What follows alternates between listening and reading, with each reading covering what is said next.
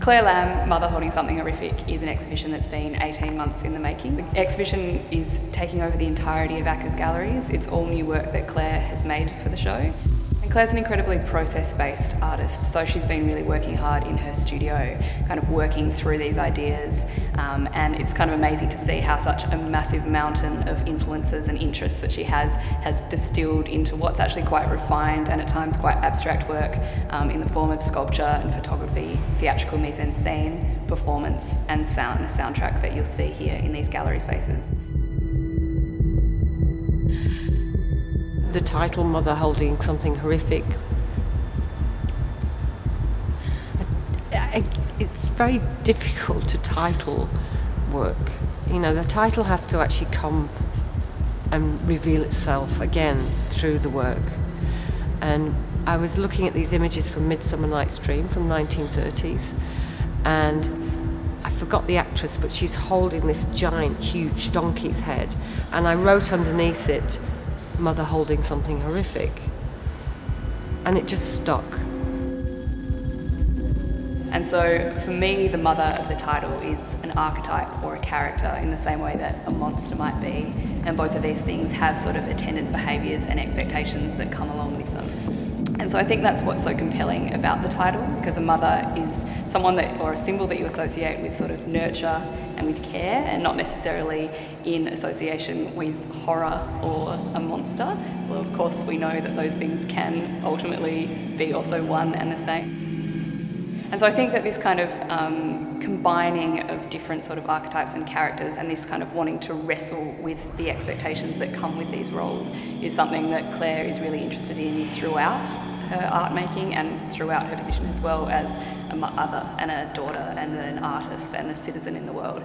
So it's, it's curious and beguiling, but also a little bit confronting, and it's very much about challenging the sort of behaviours that we are expected to perform in the various roles that we have throughout our personal and professional lives. One of the reasons we're interested in Claire's work is the breathtaking array of cultural contexts, biographical concerns, art historical concerns, philosophical concerns that um, her work embraces.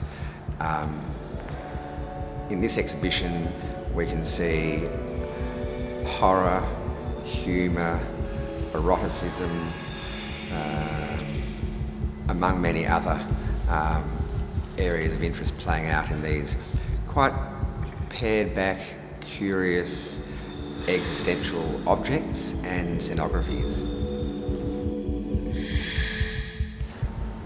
So one of the things I wanted to do was move away from form and having to look after it afterwards and having to keep it. Um, so I wanted everything that I used to be able to be useful or be reinvented or have another life. In making images, the lighting is so important and so is the sound, or to round out a character. Um, so again, it's me looking at the structure of making. And it's always, even initially, it was a sculptural structure. So I would look, you know, the carving, the the making, the welding, the dealing with the formal aspects of, of form. Um, and it's the same within any any creative profession.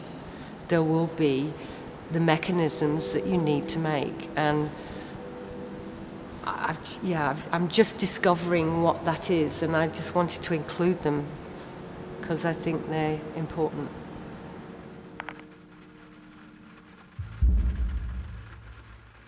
There's so much that I think that visitors will take away from this exhibition. Um, it's formally very curious and interesting. It's materially rich. It's raw. It's emotionally honest. Um, and it's also quite bawdy and fun, and I think that's really important to keep in mind this sort of humour that trickles through the installation. Um, it's sort of part history lesson, it's a little bit like reading someone's diary when you know you shouldn't. Um, and it's totally beguiling, and I think that there are sort of lots of emotions and sort of thoughts that visitors will have when they encounter the exhibition that they will last with them or stay with them for a long time.